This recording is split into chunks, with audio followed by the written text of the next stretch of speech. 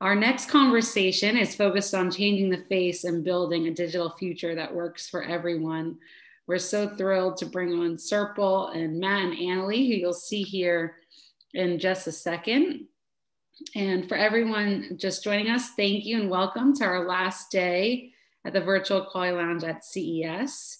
Shelley, you can uh, come on the camera now, and I'm going to hand it over to you to get started as we bring on the other speakers.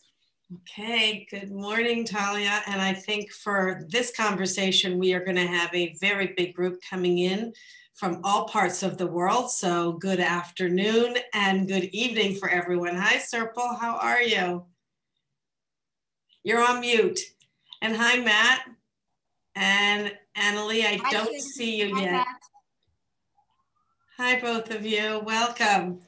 Hello, good morning, good afternoon, good evening. Perfect. Up oh, there's Anneli. Hi, Anneli. How are Hi, you? Hi, hello. Hello, good morning from the snowy Finland. In Finland. Okay, yes. very good. Matt, where are you coming in from? I am in London, formerly in Europe, but now in the UK. very good. Serpil, where are you coming in from?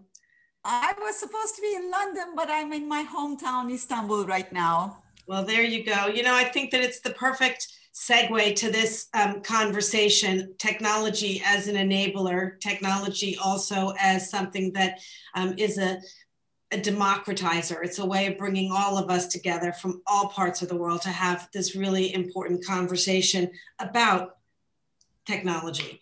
And th- this conversation is called Change the Face. Very excited to hear all about that, building a digital future that works for everyone.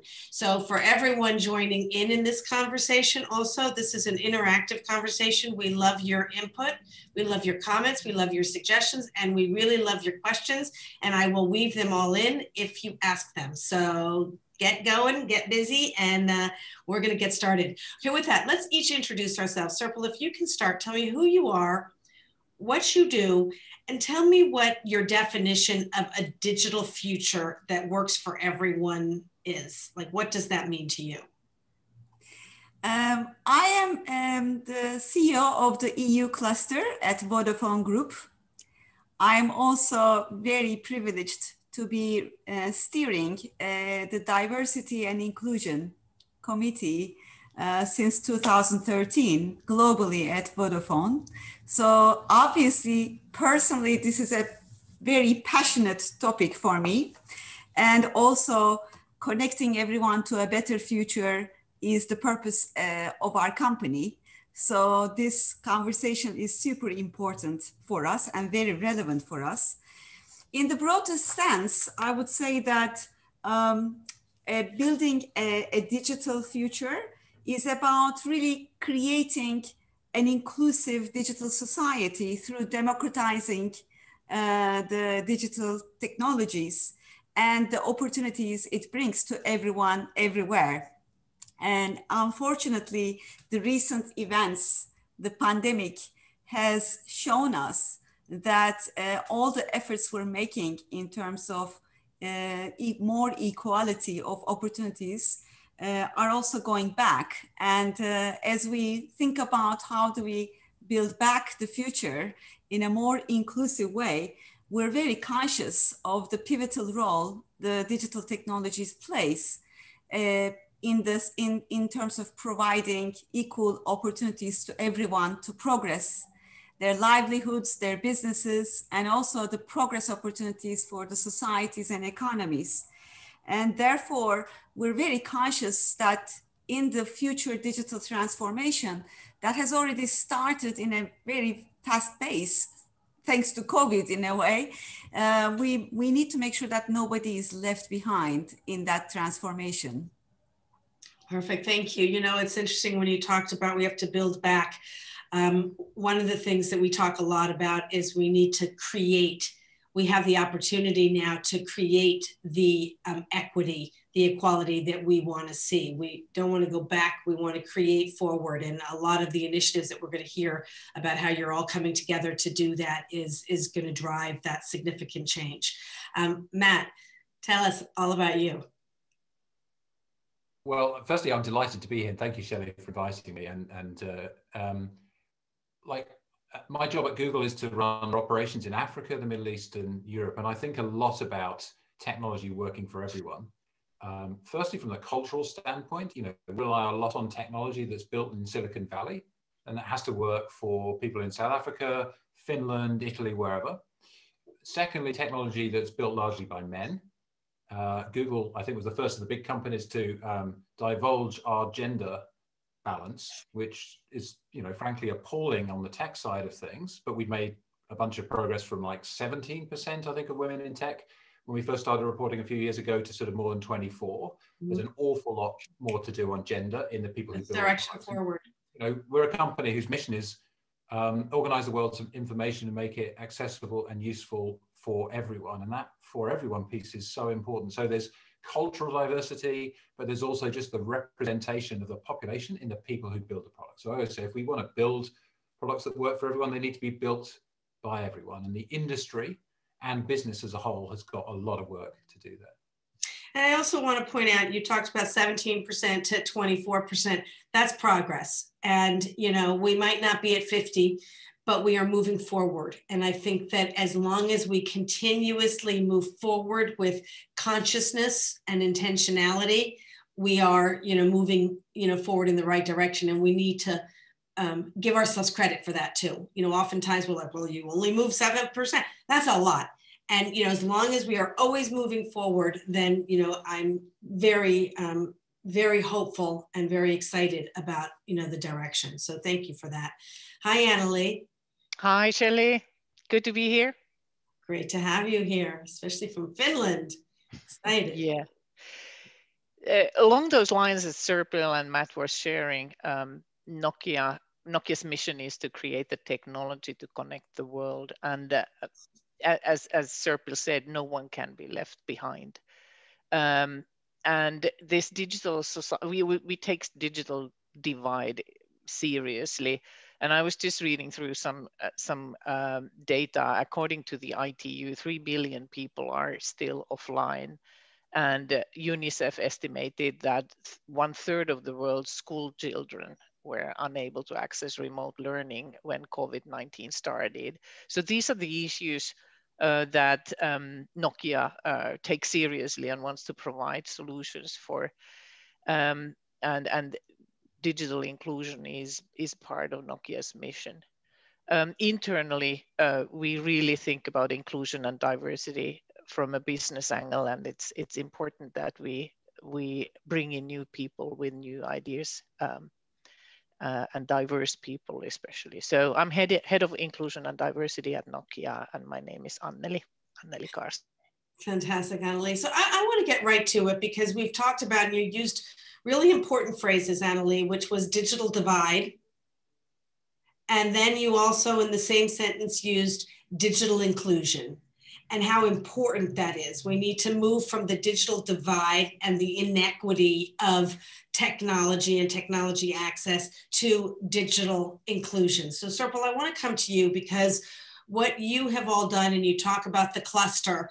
Let's discuss the collective action of you know what you are all doing around you know bringing the technology sector together so that you can reflect the world that we operate in you know in a whole new way and and really create you know the the impact and the effect of diversity and inclusion. Can you just tell us you know how this all came about and you know what that that that is?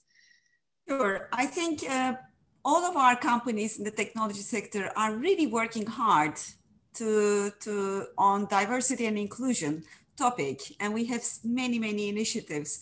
Nevertheless um, two years ago we made a research uh, with 8000 participants globally and the respondents basically said that as matt also touched that uh, if, if you were to describe technology as a person they would predominantly describe it as um, young, white, uh, middle class, uh, and male.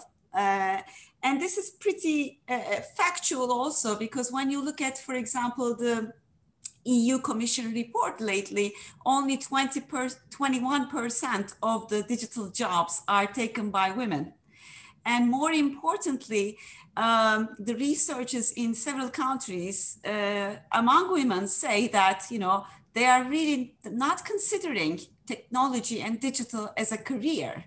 Only 19% of the women in the UK uh, are saying that you know they would consider uh, a job in the tech uh, and digital sector. So um, we really need to accelerate uh, our our initiatives here.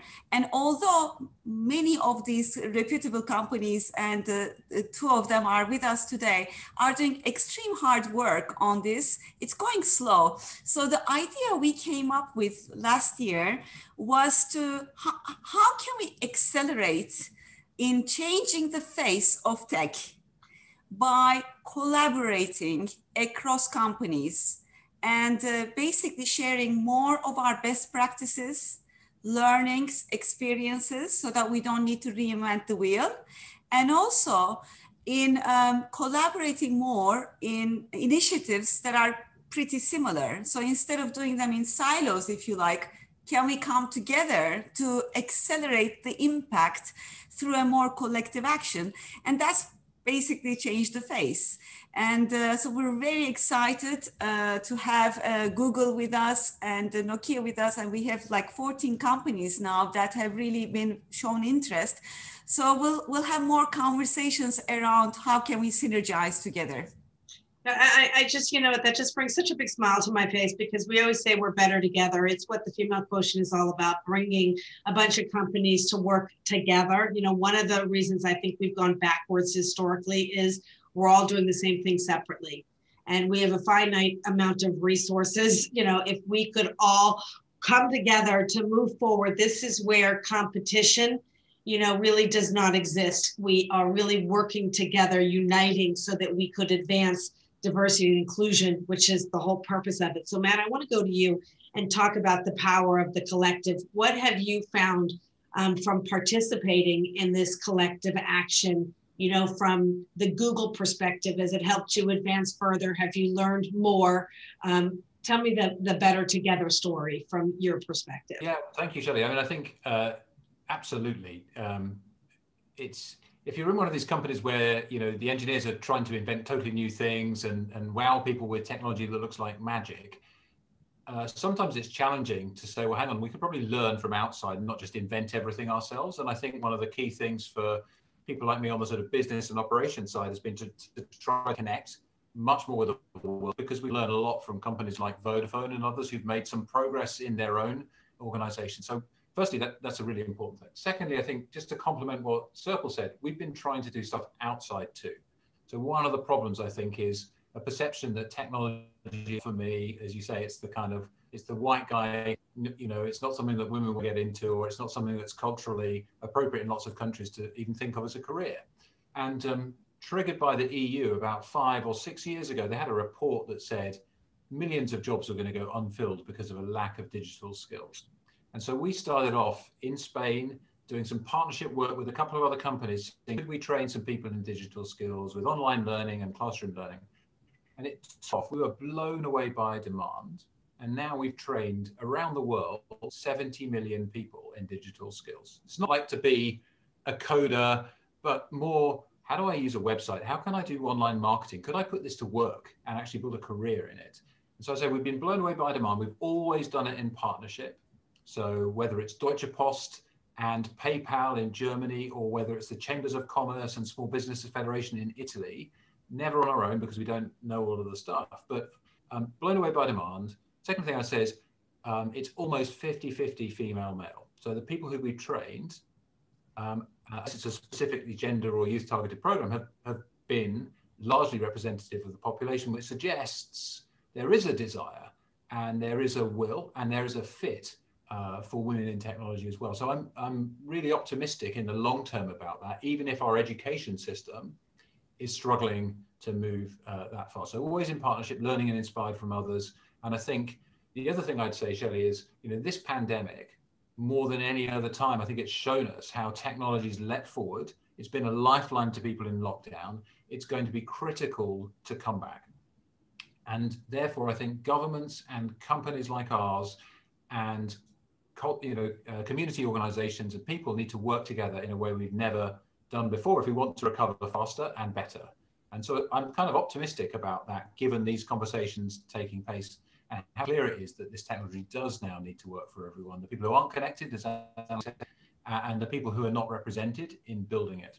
Oh, fantastic. And you know, one of the things when Serpil was describing the face of technology, if you asked, you know, uh, consumers, what does technology look like if it were a person and it's a white middle class male?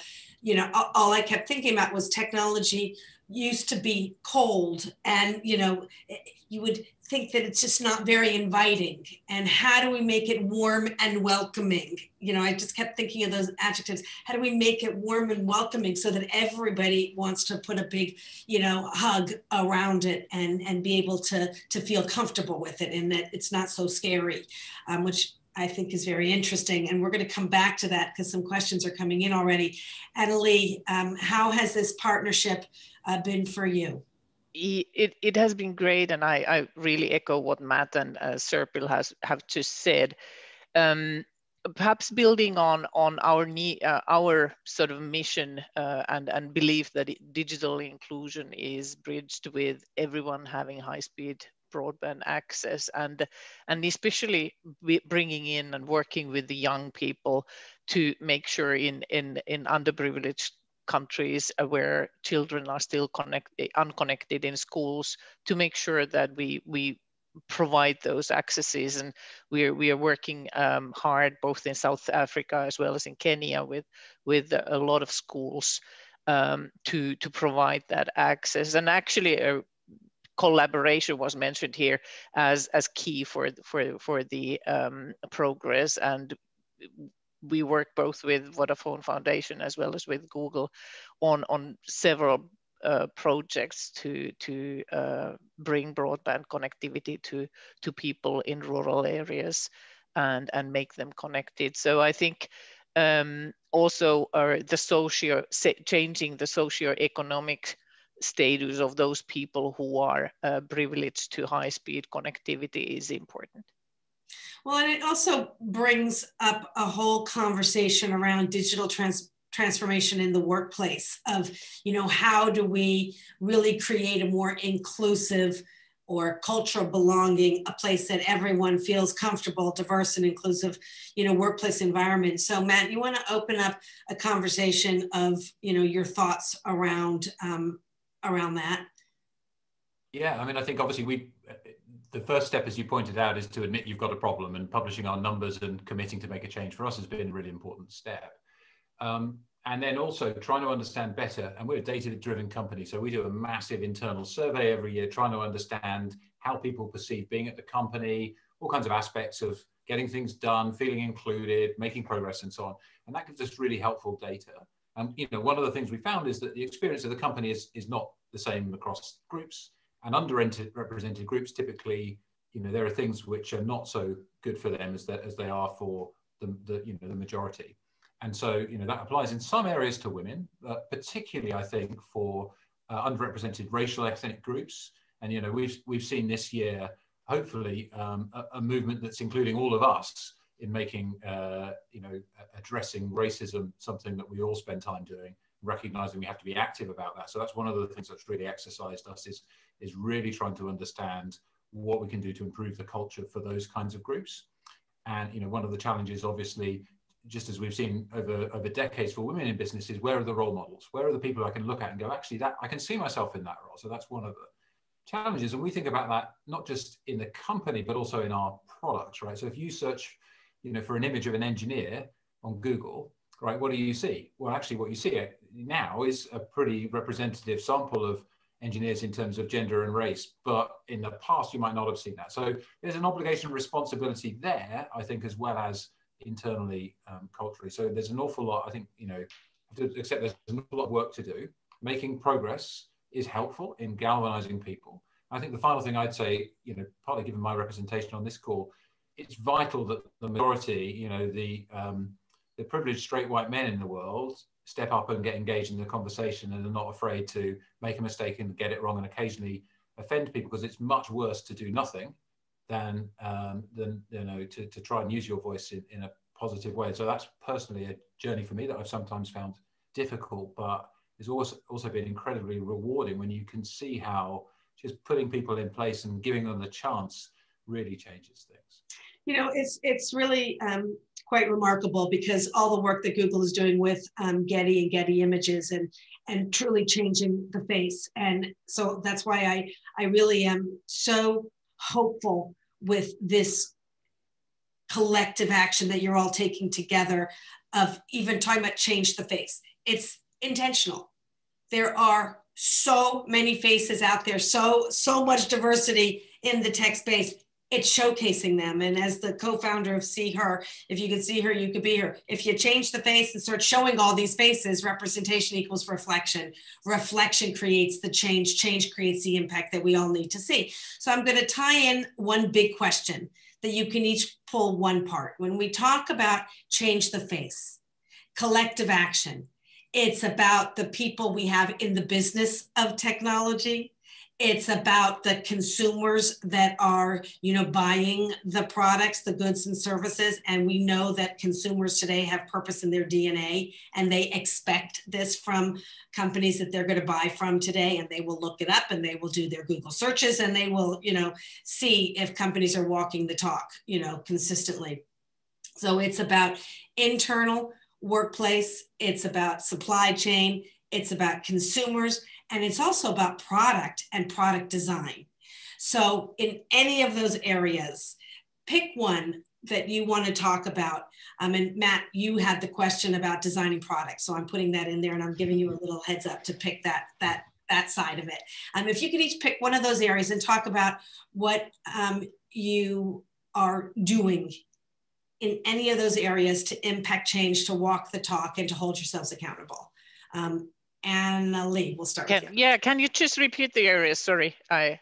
So everything about diversity and changing the face of technology comes from the consumer perspective of how you engage with consumers in your media and in representation, you know, reflection of changing the face and the images that you use and the spokespeople that you have to your supply chain diversity in the supply chain, to um, making the technology more accessible, to internal work workplace right. transformation, any of the areas that are the ingredients and the steps towards changing the face of technology. Yeah, let me pick that internal um, digital transformation how we how we leverage that uh, in in three different ways basically in talent management where we, we really curiously pilot different type of AI solutions at Nokia. Um, uh, of course, we are very aware of, of the uh, data that is, that, that is used, that it can be very biased. However, um, I would say that I have just run um, uh, unconscious bias with uh, with all company managers, over 7,000 managers, and I would say that unbiasing AI is almost easier than unbiasing people.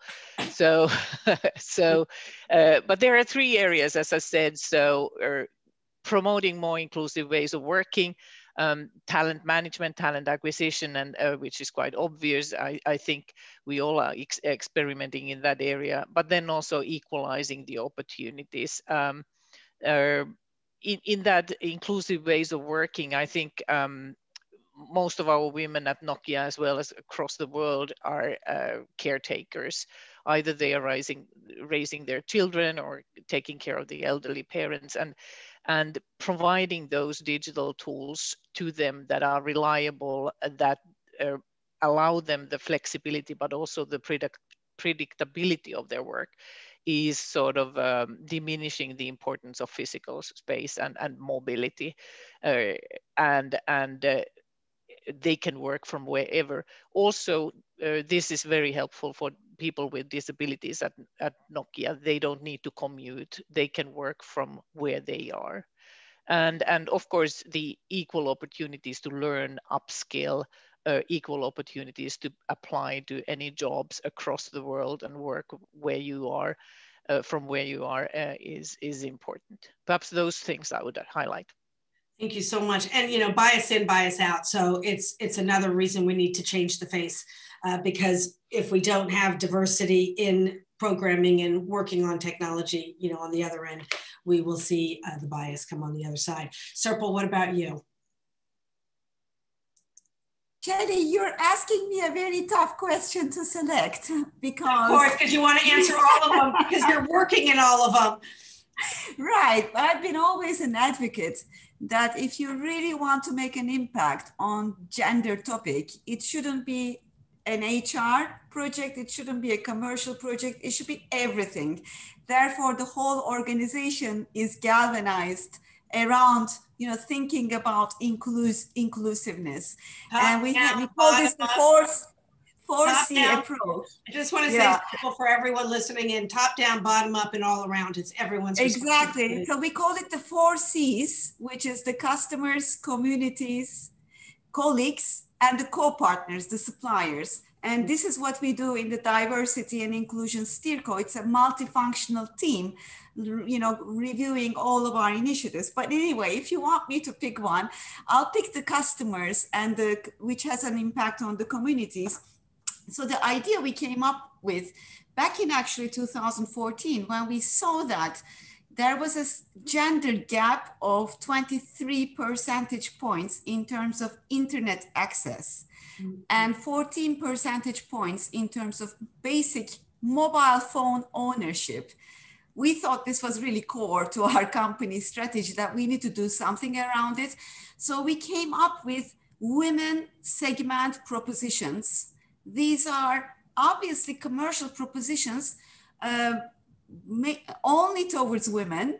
And, uh, and in emerging markets, we have said that we will connect 50 million unconnected women through that.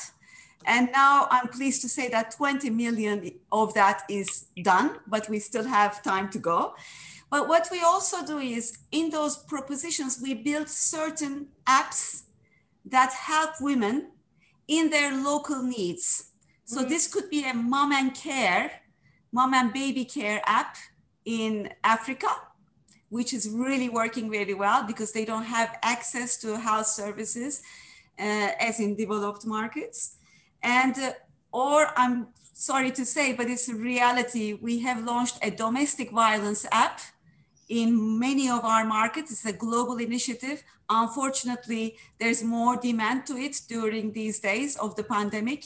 And, uh, and it helps really, it's really an urgent emergency service for uh, some of in some of them connecting to the police if needed or their you know support um, um, uh, uh, community uh, and another one is the digital skills so we have uh, we're offering digital skills uh, learning exper- uh, experiences uh, as well as entrepreneurial skills in some of our markets. So the idea is a commercial proposition, but on top of it, some apps that really help women excel and help close the divide in learning and tools and also support initiatives.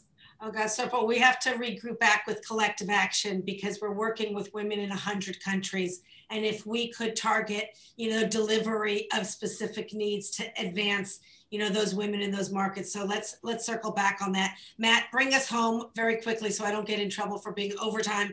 Product design, how important that is for um, inclusivity and technology. Yeah, well, I mean, I think Serpil and Anneli are sort of providing the infrastructure. We're trying to provide products that work for everyone and really help to scale to everyone. So the first piece is things like Android, massively lowering the cost of getting online through a device. Uh, but then there's also making sure that the products you're building are not sort of inherent biased. And we're trying to work hard on AI and the revolution that's there, which is hugely empowering, but to make sure that there are principles about unbiasing. That's hard work, as you may see. Uh, and, and I think the other the, the other piece, as you say, is is recognizing that you can use your supply chain uh, to make progress as well. And and you know, Serpil and I, we work hard as partners and collaborators and competitors sometimes, and that helps. But you know, for example, in our marketing, we try to make sure that the teams providing us from other companies with marketing services are diverse. But also, as we did, as we did that, what we started to see that and diversity on screen in our ads and so on, we started to realize we were doing diversity, but with stereotypes.